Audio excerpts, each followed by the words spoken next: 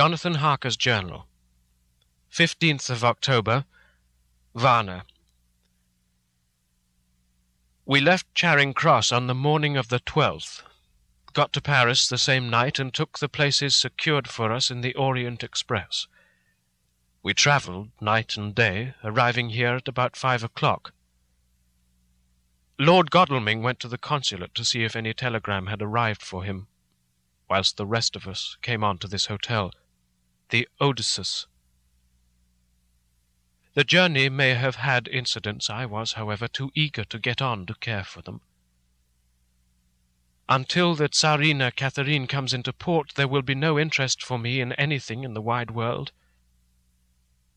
Thank God, Mina is well and looks to be getting stronger. Her colour is coming back. She sleeps a great deal. Throughout the journey she slept nearly all the time. Before sunrise and sunset, however, she is very wakeful and alert, and it has become a habit for Van Helsing to hypnotize her at such times. At first some effort was needed, and he had to make many passes but now she seems to yield at once, as if by habit, and scarcely any action is needed. He seems to have power at these particular moments to simply will, and her thoughts obey him. He always asks her what she can see and hear. She answers to the first, Nothing. All is dark.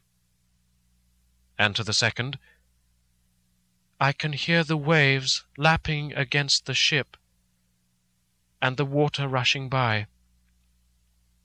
Canvas and cordage strain, and masts and yards creak.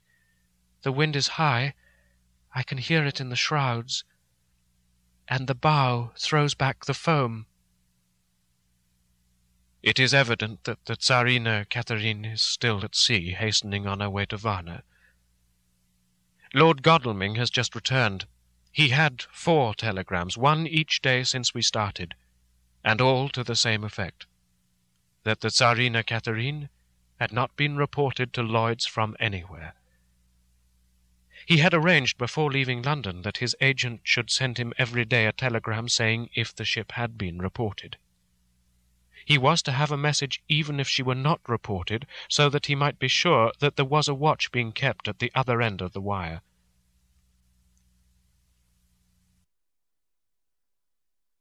We had dinner and went to bed early. Tomorrow we are to see the Vice Consul, and to arrange if we can about getting on board the ship as soon as she arrives. Van Helsing says that our chance will be to get on the boat between sunrise and sunset. The Count, even if he takes the form of a bat, can't cross the running water of his own volition, and so can't leave the ship. As he dare not change to man's form without suspicion, which he evidently wishes to avoid, he must remain in the box. If, then, we can come on board after sunrise, he is at our mercy for we can open the box and make sure of him as we did of poor Lucy before he wakes. What mercy he shall get from us will not count for much. We think that we shall not have much trouble with officials or the seamen. Thank God, this is the country where bribery can do anything, and we are well supplied with money. We have only to make sure that the ship can't come into port between sunset and sunrise without our being warned, and we shall be safe. Judge Moneybag will settle this case, I think. 16th of October. Mina's report still the same. Lapping waves and rushing water, darkness and favouring winds. We are evidently in good time, and when we hear of the Tsarina Catherine we shall be ready. As she must pass the Dardanelles, we are sure to have some report. 17th of October. Everything is pretty well fixed now, I think, to welcome the Count on his return from his tour. Godalming told the shippers that he fancied that the box sent aboard might contain something stolen from a friend of his, and got a half consent that he might open it at his own risk.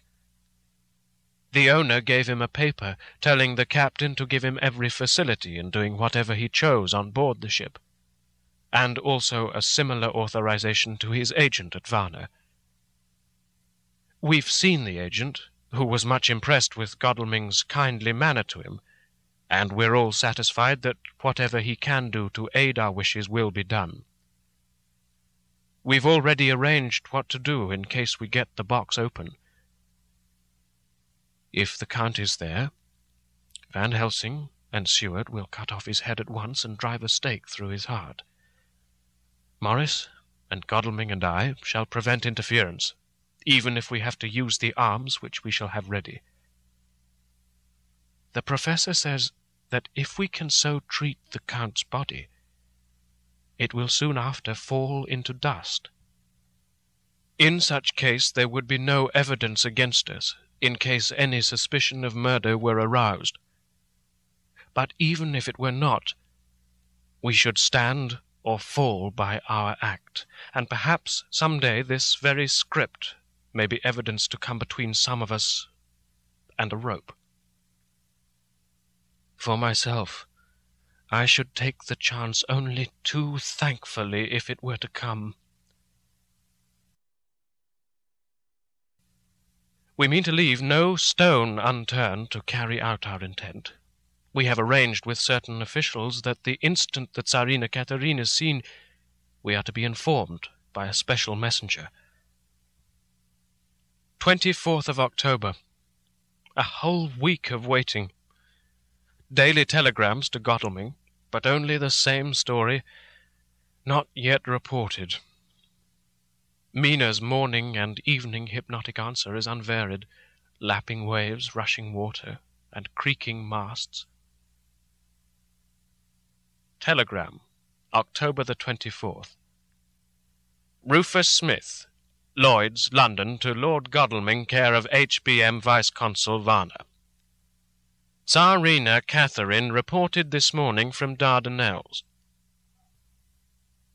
Dr. Seward's Diary, 25th of October. How I miss my phonograph. To write diary with a pen is irksome to me. But Van Helsing says I must. We were all wild with excitement yesterday when Godalming got his telegram from Lloyd's. I know now what men feel in battle when the call to action is heard. Mrs. Harker, alone of our party, did not show any signs of emotion. After all, it's not strange that she did not, for we took special care not to let her know anything about it, and we all tried not to show any excitement when we were in her presence. In old days she would, I'm sure, have noticed, no matter how we might have tried to conceal it. But in this way she is greatly changed during the past three weeks. The lethargy grows upon her, and though she seems strong and well and is getting back some of her color, Van Helsing and I are not satisfied. We talk of her often. We have not, however, said a word to the others. It would break poor Harker's heart, certainly his nerve, if he knew that we had even a suspicion on the subject. Van Helsing examines, he tells me, her teeth very carefully, whilst she is in the hypnotic condition, for he says that so long as they do not begin to sharpen, there is no active danger of a change in her. If this change should come, it would be necessary to take steps. We both know what those steps would have to be, though we do not mention our thoughts to each other.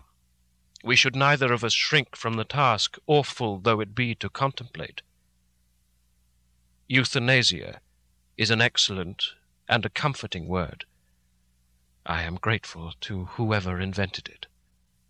It's only about twenty-four hours' sail from the Dardanelles to here, at the rate that Tsarina Catherine has come from London. She should therefore arrive some time in the morning. But as she can't possibly get in before then, we are all about to retire early. We shall get up at one o'clock, so as to be ready.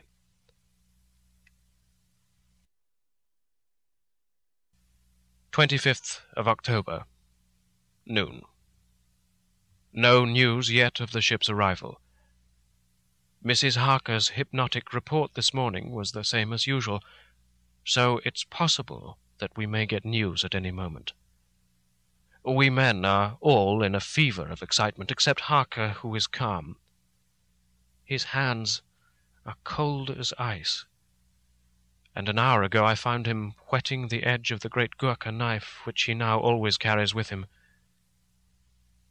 It'll be a bad lookout for the Count if the edge of that kukri ever touches his throat, driven by that stern, ice-cold hand. Van Helsing and I were a little alarmed about Mrs. Harker today. About noon she got into a sort of lethargy which we did not like. Although we kept silence to the others, we were neither of us happy about it. She'd been restless all the morning, so that we were at first glad to know that she was sleeping. When, however, her husband mentioned casually that she was sleeping so soundly that he could not wake her, we went to her room to see for ourselves. She was breathing naturally, and looked so well and peaceful that we agreed that the sleep was better for her than anything else. Poor girl! She has so much to forget that it is no wonder that sleep, if it brings oblivion to her, does her good. Later. Our opinion was justified, for when, after a refreshing sleep of some hours, she woke up, she seemed brighter and better than she had been for days. At sunset she made the usual hypnotic report. Wherever he may be in the Black Sea, the Count is hurrying to his destination. To his doom, I trust. 26th of October. Another day, and no tidings of the Tsarina Catherine. She ought to be here by now. That she is still journeying somewhere is apparent, for Mrs. Harker's hypnotic report at sunrise was still the same. It's possible that the vessel may be lying by at times for fog. Some of the steamers which came in last evening reported patches of fog both to north and south of the port. We must continue our watching, as the ship may now be signalled at any moment. 27th of October. Noon. Most strange. No news yet of the ship we wait for.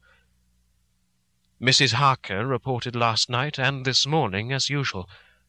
Lapping waves and rushing water. Though she added that the waves were very faint. The telegrams from London have been the same. No further report. Van Helsing is terribly anxious, and told me just now that he fears the Count is escaping us.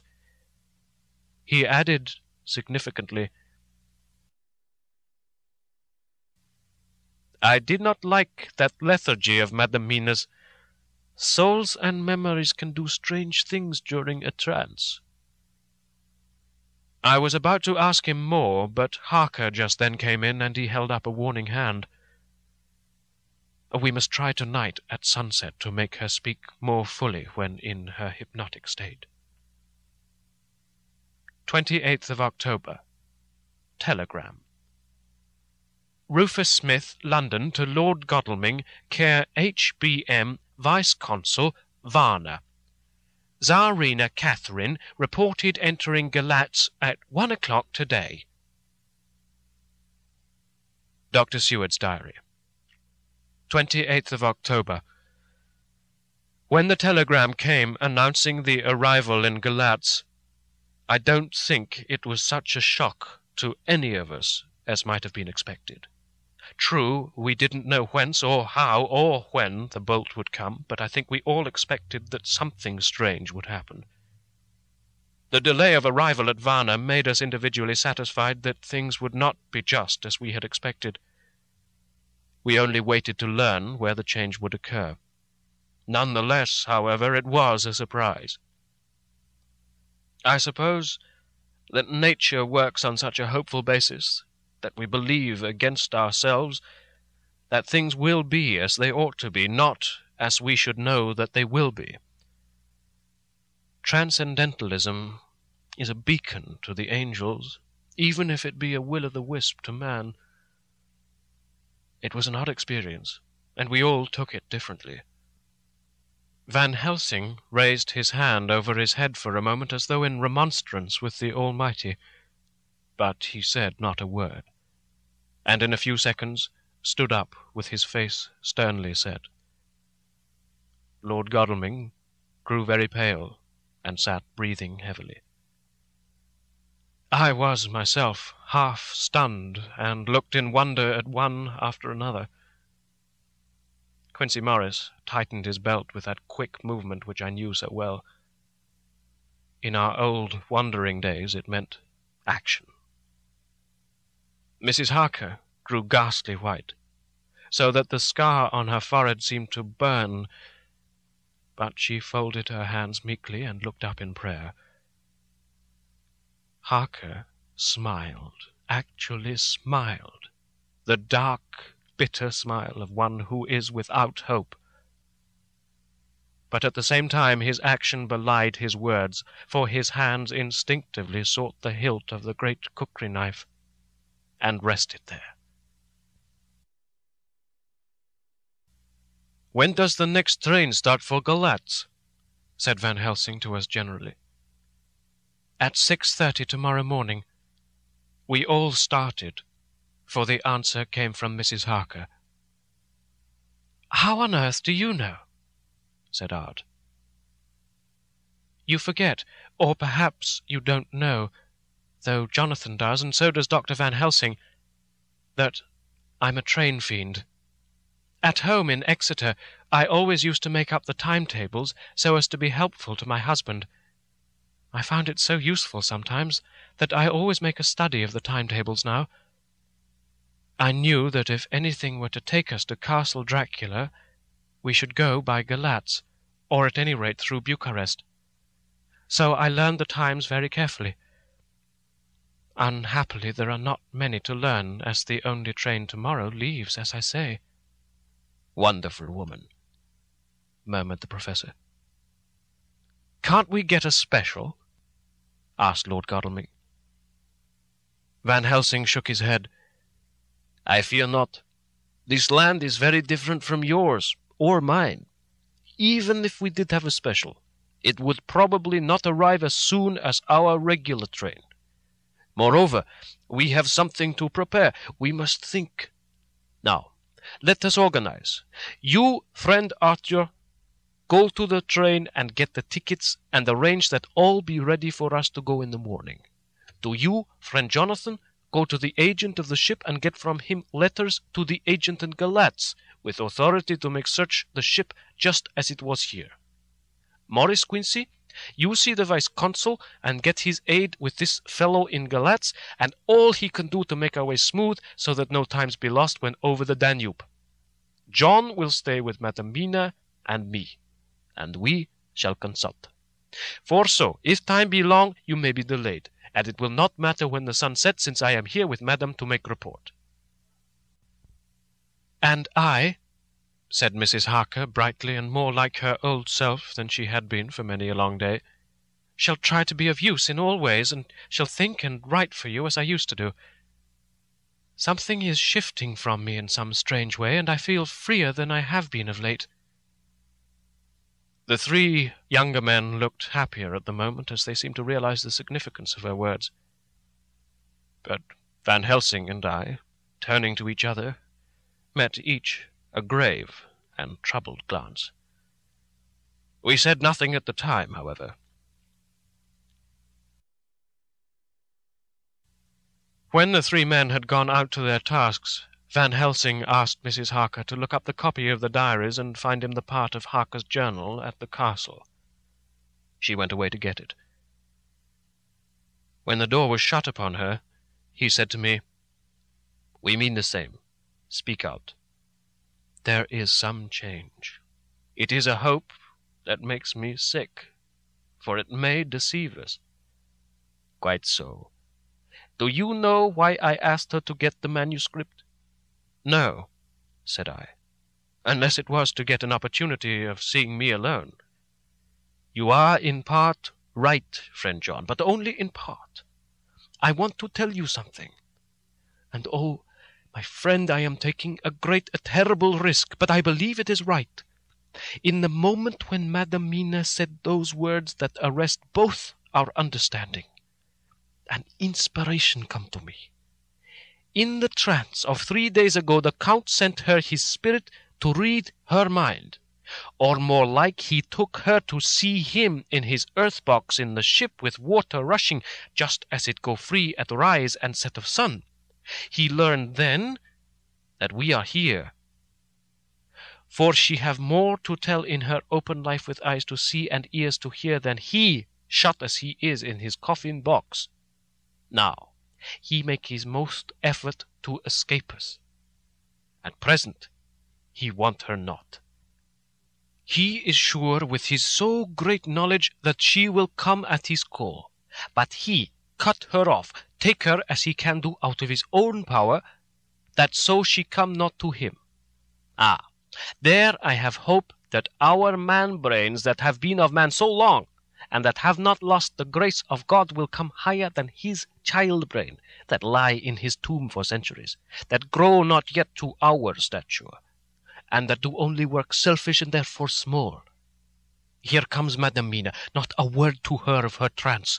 She know it not, and it would overwhelm her and make despair just when we want all her hope, all her courage, when most we want all her great brain, which is trained like man's brain, but is of sweet woman, and have a special power which the Count give her, and which he may not take away altogether, though he think not so. Shh! Let me speak, and you shall learn. Oh, John, my friend, we are in awful straits. I fear, as I never feared before. We can only trust the good God. Silence! Here she comes. I thought that the professor was going to break down and have hysterics, just as he had when Lucy died. But with a great effort he controlled himself, and was at perfect nervous poise when Mrs. Harker tripped into the room, bright and happy looking, and in the doing of work seemingly forgetful of her misery. As she came in, she handed a number of sheets of typewriting to Van Helsing. He looked over them gravely, his face brightening up as he read.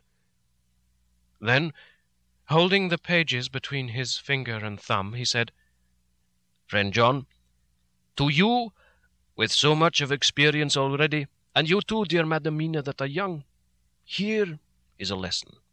Do not fear ever to think. A half thought has been buzzing often in my brain, but I fear to let him loose his wings. Here now, with more knowledge, I go back to where that half thought come from, and I find that he be no half thought at all. That be a whole thought, though so young that he is not yet strong to use his little wings. Nay, like the ugly duck of my friend Hans Andersen, he be no duck thought at all, but a big swan thought that sail nobly on big wings when the time come for him to try them. See, I read here what Jonathan have written. That other of his race who in a later age again and again brought his forces over the great river into Turkey land, who when he was beaten back came again and again and again, though he had to come alone from the bloody field where his troops were being slaughtered, since he knew that he alone could ultimately triumph. What does this tell us? Not much, no. The Count's child thought see nothing. Therefore he speaks so free. Your man thought see nothing. My man thought see nothing. Till just now. No. But there comes another word from someone who speak without thought, because she too know not what it mean, what it might mean just as there are elements which rest, yet when in nature's course they move on their way and they touch, then poof, there comes a flash of light heaven wide that blind and kill and destroy some, but that show up all earth below for leagues and leagues. Is it not so? Well, I shall explain. To begin, have you ever studied the philosophy of crime? Yes and no. You, John, yes, for it is a study of insanity. You, no, Madam Mina, for crime touch you not, not but once. Still, your mind works true and argues not a particulari ad universali. There is peculiarity in criminals. It is so constant in all countries and at all times that even police, who know not much from philosophy, come to know it empirically that it is. That is to be empiric. The criminal always work at one crime. That is the true criminal who seems predestinate to crime and who will of none other. This criminal has not full man brain. He is clever and cunning and resourceful, but he be not of man stature as to brain. He be of child brain in much. Now this criminal of ours is predestinate to crime also. He too have child brain, and it is of the child to do what he have done. The little bird, the little fish, the little animal learn not by principle, but empirically. And when he learn to do, then there is to him the ground to start from to do more. Dos pou sto, said Archimedes. Give me a fulcrum, and I shall move the world. To do once is the fulcrum whereby child brain become man brain. And until he have the purpose to do more, he continue to do the same again every time, just as he have done before. Oh, my dear, I see that your eyes are opened, and that to you the lightning flash show all the leagues. For Mrs. Harker began to clap her hands, and her eyes sparkled. He went on. Now, you shall speak. Tell us two dry men of science what you see with those so bright eyes. He took her hand and held it whilst she spoke. His finger and thumb closed on her pulse as I thought instinctively and unconsciously, as she spoke. The Count is a criminal, and of criminal type. Nordau and Lombroso would so classify him, and qua criminal he is of imperfectly formed mind. Thus, in a difficulty, he has to seek resource in habit. His past is a clue, and the one page of it that we know, and that from his own lips, tells that once before, when in what Mr. Morris would call a tight place, he went back to his own country from the land he had tried to invade, and thence, without losing purpose, prepared himself for a new effort. He came again better equipped for his work, and won. So he came to London to invade a new land. He was beaten, and when all hope of success was lost, and his existence in danger, he fled back over the sea to his home, just as formerly he had fled back over the Danube from Turkeyland. Good, good, oh, you so clever lady, said Van Helsing enthusiastically, as he stooped and kissed her hand. A moment later he said to me as calmly as though we had been having a sick-room consultation, Seventy-two only, and in all this excitement I have hope. Turning to her again, he said with keen expectation, but go on, go on. There is more to tell, if you will. Be not afraid, John, and I know. I do in any case, and shall tell you if you are right. Speak without fear.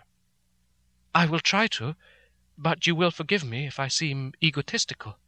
Nay, fear not, you must be egotist, for it is of you that we think. Then, as he is criminal, he is selfish. And as his intellect is small and his action is based on selfishness, he confines himself to one purpose that purpose is remorseless. As he fled back over the Danube, leaving his forces to be cut to pieces, so now he's intent on being safe, careless of all. So his own selfishness frees my soul somewhat from the terrible power which he acquired over me on that dreadful night. I felt it. Oh, I felt it. Thank God for his great mercy. My soul is freer than it has been since that awful hour and all that haunts me is a fear lest in some trance or dream he may have used my knowledge for his ends. The professor stood up. He has so used your mind, and by it he has left us here in Varna whilst the ship that carried him rushed through enveloping fog up to Galatz, where doubtless he had made preparation for escaping from us. But his child mind only saw so far, and it may be that, as ever is in God's providence, the very thing that the evildoer most reckoned on for his selfish good turns out to be his chiefest harm. The hunter is taken in his own snare, as the great psalmist says. For now that he think he is free from every trace of us all, and that he has escaped us with so many hours to him, then his selfish child brain will whisper him to sleep. He think, too, that as he cut himself off from knowing your mind, there can be no knowledge of him to you. There is where he fail. That terrible baptism of blood which he give you makes you free to go to him in spirit, as you have as yet done in your times of freedom when the sun rise and set.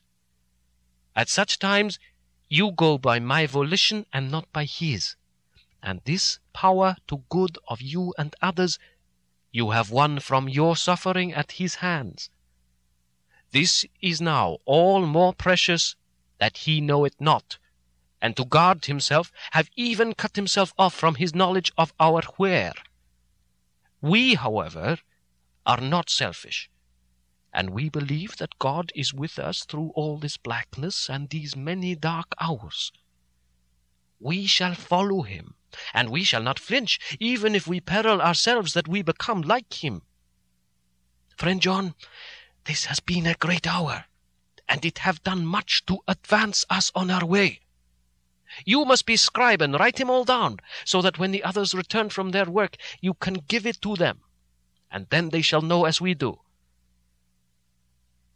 And so I have written it whilst we wait their return, and Mrs. Harker has written with her typewriter all since she brought the MS to us.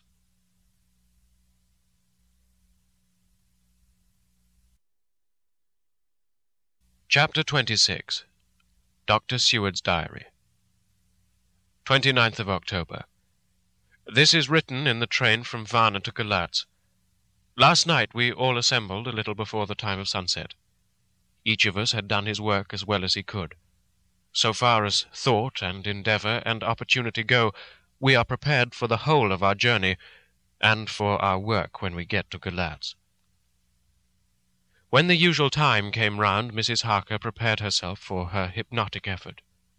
And after a longer and more serious effort on the part of Van Helsing than has been usually necessary, she sank into the trance. Usually she speaks on a hint, but this time the Professor had to ask her questions, and to ask them pretty resolutely before we could learn anything. At last her answer came. I can see nothing we are still. There are no waves lapping, but only a steady swirl of water softly running against the hawser. I can hear men's voices calling, near and far, and the roll and creak of oars in the rowlocks. A gun is fired somewhere. The echo of it seems far away. There is a tramping of feet overhead, and ropes and chains are dragged along. What's this? There's a gleam of light. I can feel the air blowing upon me. Here she stopped. She had risen as if impulsively from where she lay on the sofa, and raised both her hands, palms upwards, as if lifting a weight. Van Helsing and I looked at each other with understanding. Quincey raised his eyebrows slightly and looked at her intently, whilst Harker's hand instinctively closed round the hilt of his kukri. There was a long pause. We all knew that the time when she could speak was passing, but we felt that it was useless to say anything. Suddenly she sat up, and, as she opened her eyes, said sweetly, Would none of you like a cup of tea? You must all be so tired. We could only make her happy, and so acquiesced. She bustled off to get tea. When she'd gone, Van Helsing said, You see, my friends, he is close to land. He has left his earth chest, but he has yet to get on shore. In the night he may lie hidden somewhere.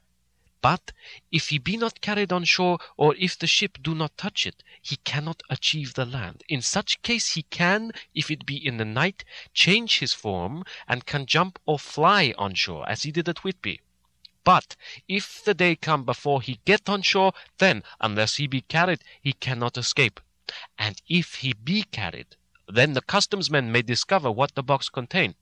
Thus, in fine, if he escape not on shore tonight, or before dawn, there will be the whole day lost to him. We may then arrive in time, for if he escape not at night, we shall come on him in daytime, boxed up and at our mercy.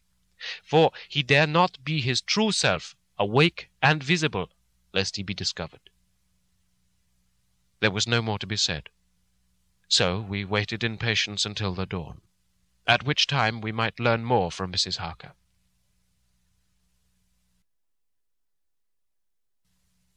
Early this morning we listened with breathless anxiety for her response in her trance.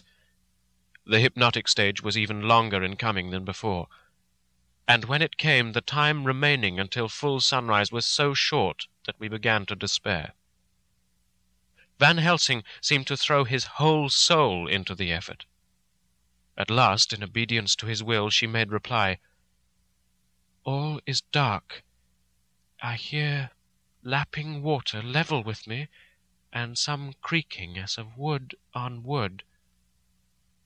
She paused, and the red sun shot up. We must wait till tonight.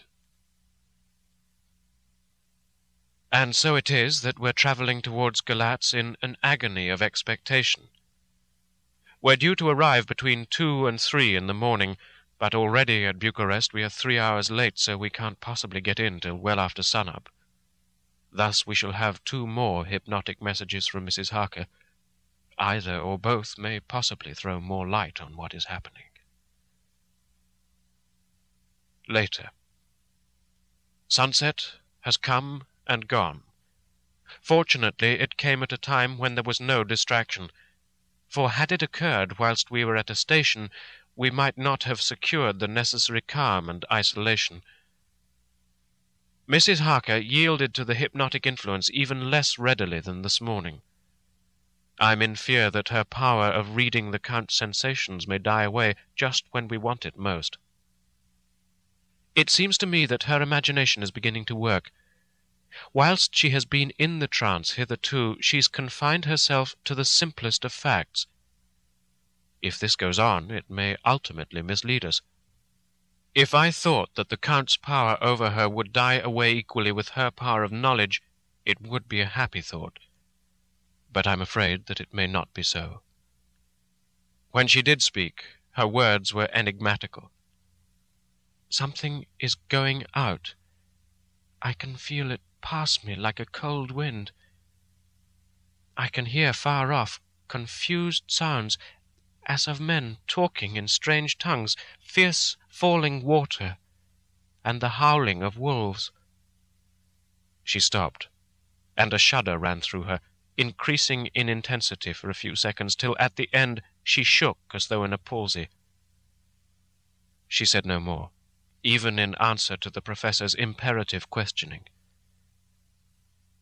When she woke from the trance, she was cold and exhausted and languid but her mind was all alert.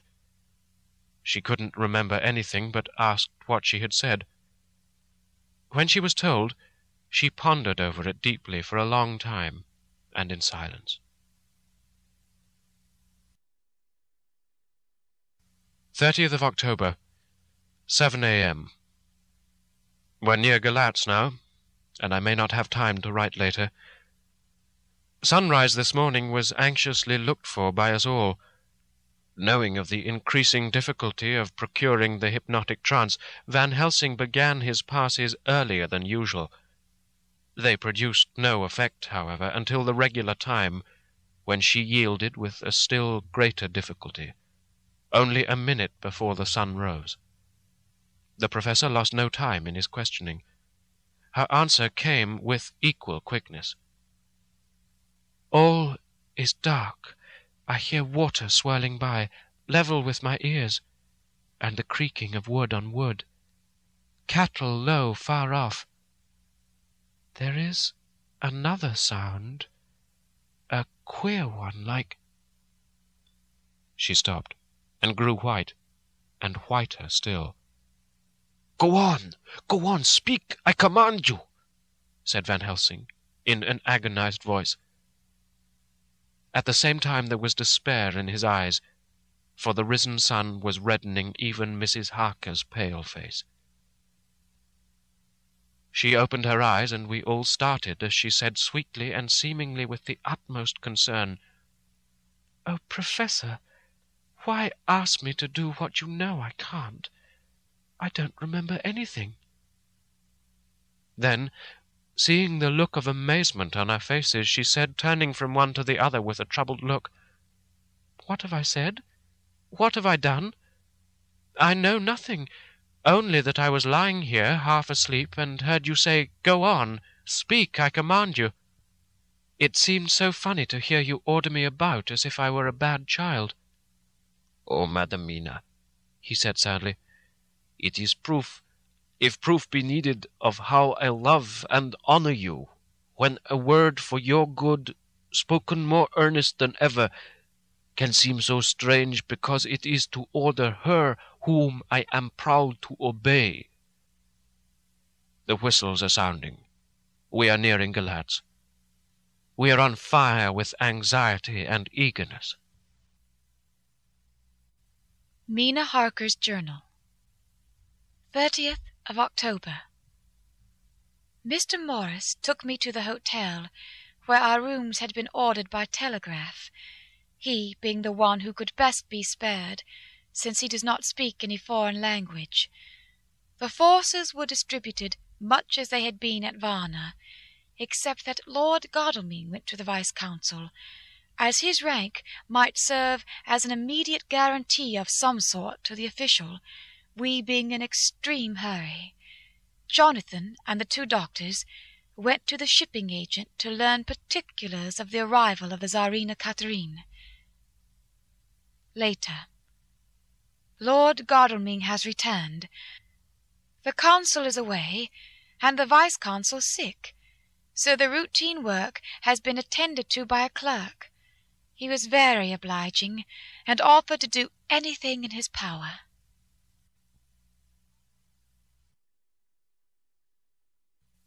Jonathan Harker's Journal, 30th of October. At nine o'clock, Dr. Van Helsing, Dr. Seward, and I called on Messrs. Mackenzie and Steinkoff, the agents of the London firm of Hapgood. They had received a wire from London in answer to Lord Godalming's telegraphed request, asking them to show us any civility in their power. They were more than kind and courteous, and took us at once on board the Tsarina Catherine, which lay at anchor out in the river harbour. There we saw the captain, Donelson by name, who told us of his voyage. He said that in all his life he had never had so favourable a run. Man, he said, but it made us afeard, for we expected that we should have to pay for it with some rare piece of ill luck, so as to keep up the average. It's no canny to run fra London to the Black Sea wi' a wind ahint ye as though the devil himself were blowing on your sail for his ain purpose and all the time we could not speer a thing. Gin we were nigh a ship, or a port, or a headland, a fog fell on us and trouble with us, till when after it had lifted and we looked out, the deil a thing could we see. We ran by Gibraltar without being able to signal, until we came to the Dardanelles and had to wait to get our permit to pass. We never were within hail aught. Well, at first I inclined to slack off sail and beat about till the fog was lifted. But whilst I thought that if the Deil was minded to get us into the Black Sea quick, he was like to do it whether we would or no. If we had a quick voyage, it would be no to our miscredit with the owners, or no hurt to our traffic. And the old man who had served his ain purpose was be decently grateful to us for no hindering him. This mixture of simplicity and cunning, of superstition and commercial reasoning, aroused Van Helsing, who said, Mine friend, that devil is more clever than he is thought by some, and he know when he meet his match. The skipper was not displeased with the compliment, and went on. When we got past the Bosphorus, the men began to grumble. Some of them, the Roumanians, came and asked me to heave overboard a big box which had been put on board by a queer looking old man just before we'd started for London. I'd seen them speer at the fellow and put on their twa fingers when they saw him to guard against the evil eye. Man, but the superstition of foreigners is perfectly ridiculous. I sent them about their business pretty quick, but as just after a fog closed in on us, I felt a wee bit as they did and then something, though I wouldn't say it was agin the big box. Well, on we went, and as the fog didn't let up for five days, why just let the wind carry us. For if the Deil wanted to get somewheres, well, he'd fetch it up a reet. And if he didn't, well, we'd keep a sharp lookout anyhow. Sure enough, we had a fair way and deep water all the time, and two days ago, when the morning sun came through the fog, we found ourselves just in the river opposite Galatz. The Roumanians were wild, and wanted me, right or wrong, to take out the box and fling it in the river. I had to argue with them about it with a handspike, and when the last of them rose off the deck with his head in his hand, I'd convinced them that evil eye or no evil eye, the property and the trust of my owners were better in my hands than in the river Danube. They had, mind ye, taken the box on the deck ready to fling in, and as it was marked Galatz via Varna, I thought I'd let it lie till we discharged in the port and get rid of it altogether. We didn't do much clearing that day, and had to remain the night at anchor. But in the morning, braw and early, an hour before sunup, a man came aboard with an order, written to him from England to receive a box marked for one Count Dracula. Sure enough, the matter was one ready to his hand. He had his papers all right, and glad I was to be rid of the damn thing, for I was beginning myself to feel uneasy about it. If the devil did have any luggage aboard the ship, I'm thinking it was none other than that same. What was the name of the man who took it? asked Dr. Van Helsing with restrained eagerness. I'll be telling you quick, he answered, and stepping down to his cabin produced a receipt signed Immanuel Hildesheim. Bergenstrasse 16 was the address. We found out that this was all the captain knew, so with thanks we came away. We found Hildesheim in his office, a Hebrew of rather the Adelphi theatre type, with a nose like a sheep and a fez. His arguments were pointed with specie, we doing the punctuation, and with a little bargaining he told us what he knew. This turned out to be simple but important. He had received a letter from Mr. de Ville of London telling him to receive, if possible, before sunrise, so as to avoid customs, a box which would arrive at Galatz in the Tsarina Catherine. This he was to give in charge to a certain Petrov Skinsky, who dealt with the Slovaks who traded down the river to the port. He had been paid for his work by an English banknote which had been duly cashed for gold at the Danube International Bank. When Skinsky had come to him, he had taken him to the ship and handed over the box so as to save porterage. That was all he knew. We then sought for Skinsky, but were unable to find him. One of his neighbors, who didn't seem to bear him any affection, said that he'd gone away two days before, no one knew whither. This was corroborated by his landlord, who had received by messenger the key of the house, together with the rent due, in English money. This had been between ten and eleven o'clock last night. We were at a standstill again. Whilst we were talking, one came running and breathlessly gasped out that the body of Skinsky had been found inside the wall of the churchyard of St. Peter, and that the throat had been torn open, as if by some wild animal. Those we had been speaking with ran off to see the horror, the women crying out, This is the work of a Slovak. We hurried away lest we should have been in some way drawn into the affair, and so detained. As we came home, we could arrive at no definite conclusion. We were all convinced that the box was on its way by water to somewhere, but where that might be, we would have to discover. With heavy hearts, we came home to the hotel to Mina. When we met together, the first thing was to consult as to taking Mina again into our confidence. Things are getting desperate, and it is at least a chance, though a hazardous one. As a preliminary step, I was released from my promise to her. Mina Harker's Journal 30th of October, evening. They were so tired and worn out and dispirited that there was nothing to be done till they had had some rest.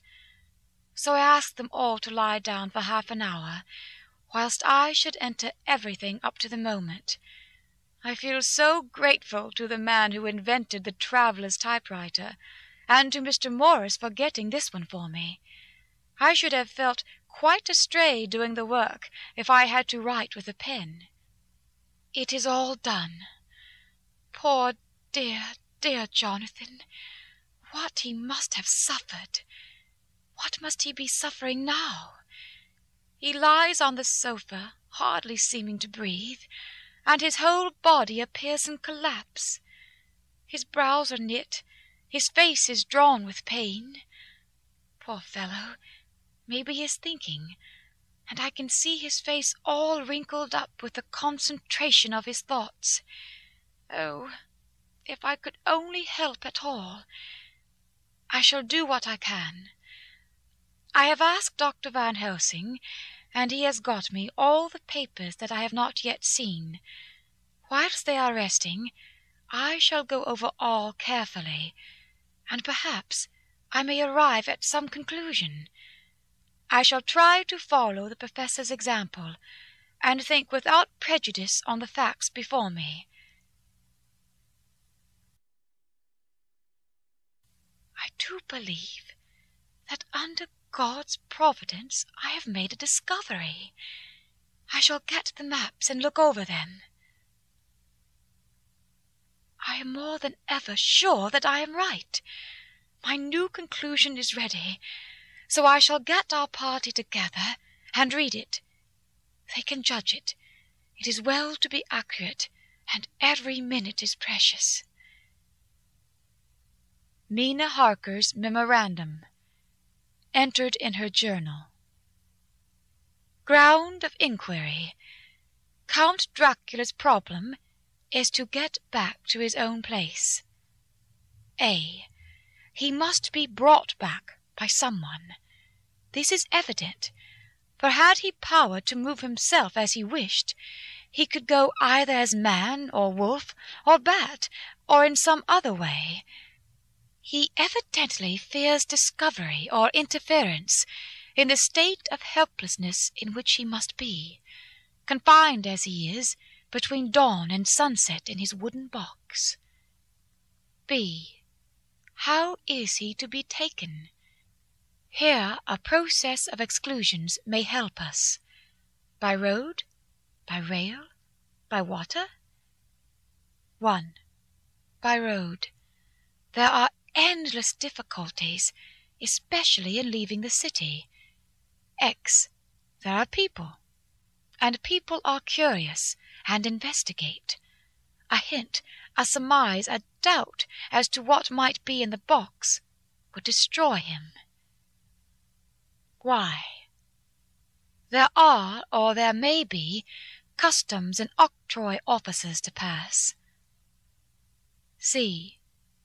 His pursuers might follow.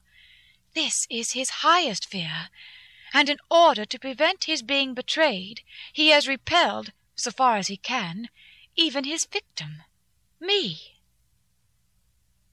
2. By rail.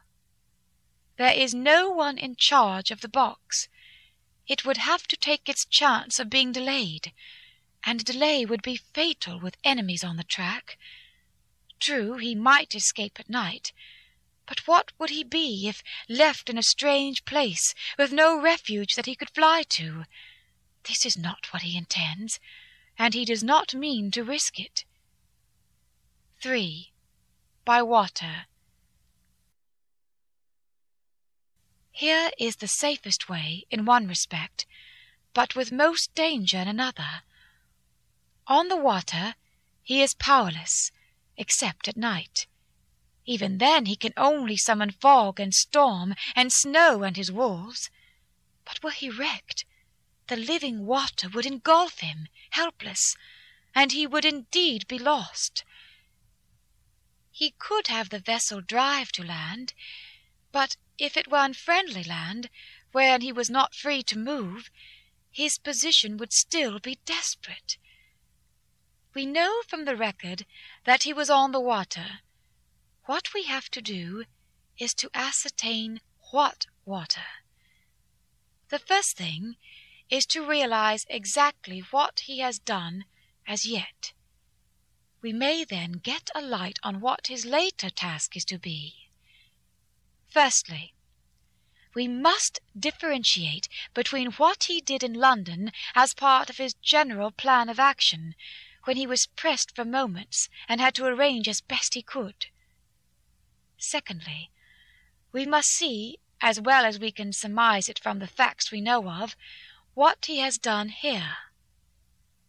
As to the first, he evidently intended to arrive at Galatz, and sent envoys to Varna to deceive us, lest we should ascertain his means of exit from England. His immediate and sole purpose, then, was to escape. The proof of this is the letter of instruction sent to Emanuel Hildesheim to clear and take away the box before sunrise. There is also the instruction to Petrov Skinsky. These we must only guess at, but there must have been some letter or message since Skinsky came to Hildesheim. That so far his plans were successful, we know. The Tsarina Catherine made a phenomenally quick journey, so much so that Captain Donelson's suspicions were aroused. But his superstition, united with his canniness, played the Count's game for him, and he ran with his favouring wind through fogs and all, till he brought up blindfold at Galatz. That the Count's arrangements were well made has been proved. Hildesheim cleared the box, took it off, and gave it to Skinsky. Skinsky took it, and here we lose the trail. We only know that the box is somewhere on the water, moving along. The customs and the octroi, if there be any, have been avoided. Now we come to what the Count must have done after his arrival, on land, at Galatz. The box was given to Skinsky before sunrise. At sunrise the Count could appear in his own form.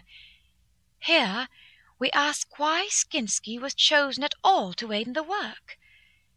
In my husband's diary, Skinsky is mentioned as dealing with the Slovaks who trade down the river to the port and the man's remark that the murder was the work of a Slovak showed the general feeling against his class. The Count wanted isolation. My surmise is this that in London the Count decided to get back to his castle by water as the most safe and secret way. He was brought from the castle by Szgany and probably they delivered their cargo to Slovaks, who took the boxes to Varna, for there they were shipped for London. Thus the Count had knowledge of the persons who could arrange this service. When the box was on land, before sunrise or after sunset, he came out from his box, met Skinsky, and instructed him what to do as to arranging the carriage of the box up some river. When this was done, and he knew that all was in train, he blotted out his traces, as he thought, by murdering his agent. I have examined the map, and find that the river most suitable for the Slovaks to have ascended is either the Pruth or the Sereth. I read in the typescript that in my trance I heard cows low, and water swirling level with my ears, and the creaking of wood. The Count in his box, then, was on a river in an open boat, propelled probably either by oars or poles, for the banks are near, and it is working against stream. There would be no such sound if floating down stream. Of course it may not be either the Sereth or the Pruth, but we may possibly investigate further. Now of these two, the Pruth is the more easily navigated, but the Sereth is at Fundu joined by the Bistritza, which runs up round the Borgo Pass. The loop it makes is manifestly as close to Dracula's castle as one can be got by water. Mina Harker's Journal Continued When I had done reading, Jonathan took me in his arms and kissed me. The others kept shaking me by both hands, and Dr. Van Helsing said, Our dear Madam Mina is once more our teacher. Her eyes have been where we were blinded. Now we are on the track once again, and this time we may succeed. Our enemy is at his most helpless, and if we can come on him by day, on the water, our task will be over. He has a start, but he is powerless to hasten, as he may not leave his box, lest those who carry him may suspect. For them to suspect would be to prompt them to throw him in the stream where he perish. This he knows, and will not. Now, men, to our council of war, for here and now we must plan what each and all shall do. I shall get a steam launch and follow him, said Lord Godalming, and I horses to follow on the bank, lest by chance he land, said Mr. Morris. Good, said the Professor, both good. But neither must go alone. There must be force to overcome force if need be. The Slovak is strong and rough, and he carries rude arms. All the men smiled, for amongst them they carried a small arsenal. Said Mr. Morris, I have brought some Winchesters. They are pretty handy in a crowd, and there may be wolves. The Count, if you remember, took some precautions. He made some requisitions on others that Mrs. Harker could not quite hear or understand. We must be ready at all points. Dr. Seward said, I think I had better go with Quincey. We have been accustomed to hunt together, and we two, well armed, will be a match for whatever may come along. You must not be alone, Art. It may be necessary to fight the Slovaks, and a chance thrust, for I don't suppose these fellows carry guns, would undo all our plans. There must be no chances this time. We shall not rest until the Count's head and body have been separated, and we are sure that he cannot reincarnate." He looked at Jonathan as he spoke, and Jonathan looked at me. I could see that the poor dear was torn about in his mind.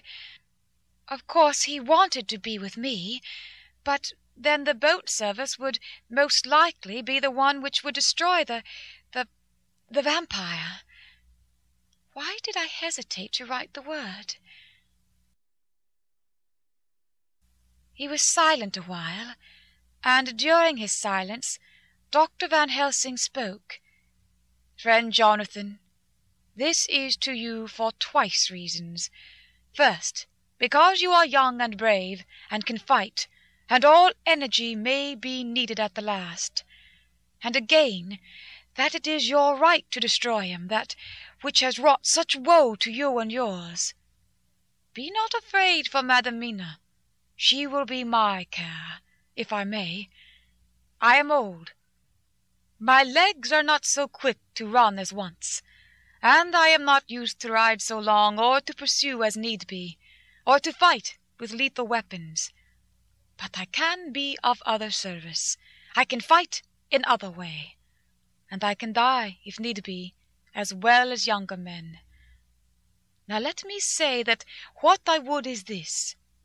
While you, my Lord Godalming, and friend Jonathan, go in your so swift little steamboat up the river, and whilst John and Quincey guard the bank where perchance he might be landed, I will take Madam Mina right into the heart of the enemy's country, whilst the old fox is tied in his box, floating on the running stream whence he cannot escape to land, where he dares not raise the lid of his coffin box, lest his Slovak carers should in fear leave him to perish, we shall go in the track where Jonathan went, from B Bistritz over the Borgo, and find our way to the castle of Dracula.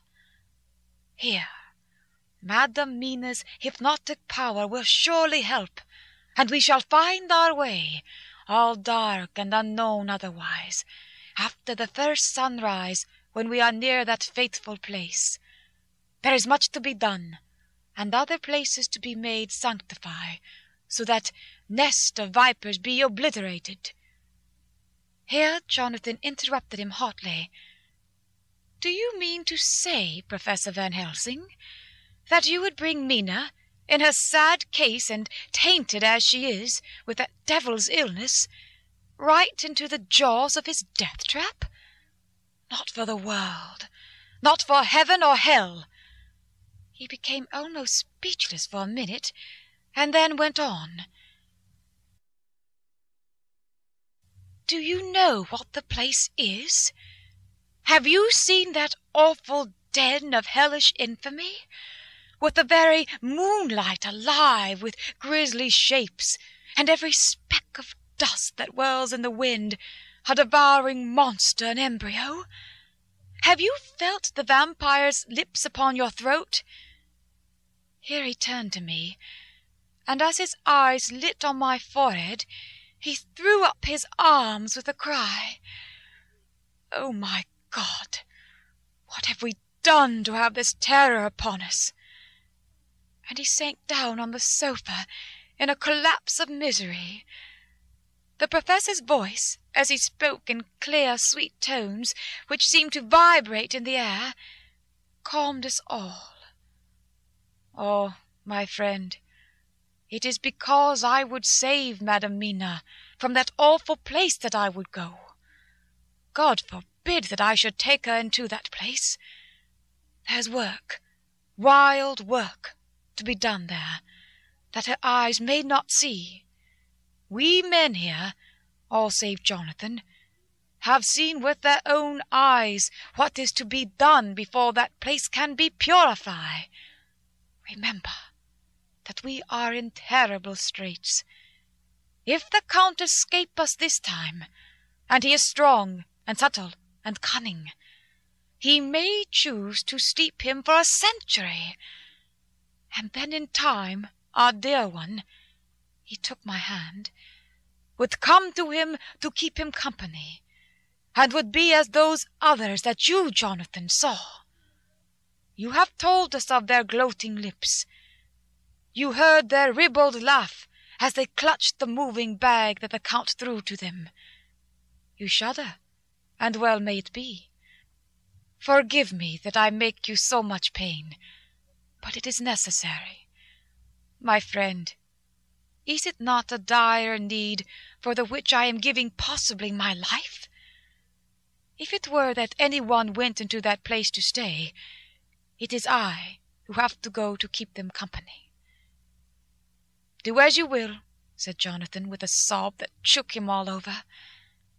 We are in the hands of God. Later.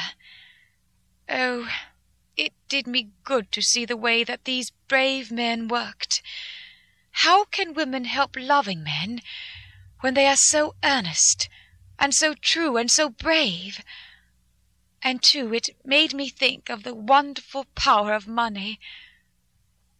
What can it not do when it is properly applied, and what might it do when basely used? I felt so thankful that Lord Godalming is rich, and that both he and Mr. Morris, who also has plenty of money, are willing to spend it so freely. For if they did not, our little expedition could not start, either so promptly or so well equipped, as it will within another hour.